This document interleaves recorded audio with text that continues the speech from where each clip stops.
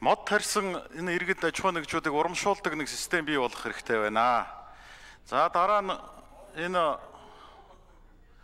энэ усныхаа төлбөрүүдийг би өчигдөр бас хэлж ирсэн. Энийг нэмэгдүүлэхдээ та бүхэн цаашдаа хууль эрх зүйн орчин дээр анхаараарай.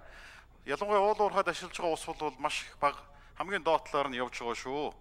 За дараа нь энэ ойжуулахад хамгийн чухал энэ хөхмөр төслөө одоо цааш нь урагшлуулахад та бүхэн санхүүжилтийн асуудал, бусад асуудал дээр нь нэлээд сайн анхаарч ажиллаарай. Төслийнхоо нэгжийг яаралтай байгуулад цаашаа явах хэрэгтэй байна. За дараа нь энэ ой сүйтгэсэн ялангуяа энэ говийн бүс нутагт байгаа энэ загийг төлөөнд ашиглаж байгаа гэд энэ асуудлуудаар хариуцлагын асуудал дээр нь та бүхэн бас цаашдаа анхаарч ажиллах шаардлагатай байгаа шүү. За дараа нь энэ ашигт батамлын лиценз олгоход энэ ой сав бүхий газар ойтой газар одоо олгодгүй байх механизмыг бүрдүүлж цаашдаа нөгөө уул уурхай яамтайгаа хамтарч ажиллах шаардлагатай байгаа.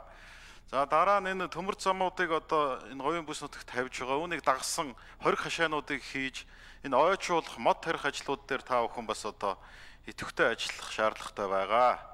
За дараа нэг тэрбум мод хөтөлбөрийн хүрээнд иргэд одоо мод тарья гэдэг ийм санаачлагууд их гаргаж байна. Тийм учраас энэ хөтөлбөрөө дагуулад журам одоо иргэдийг дэмжсэн одоо ямар одоо зүйлүүд байх энийг тодорхой болгох шаардлагатай байгаа.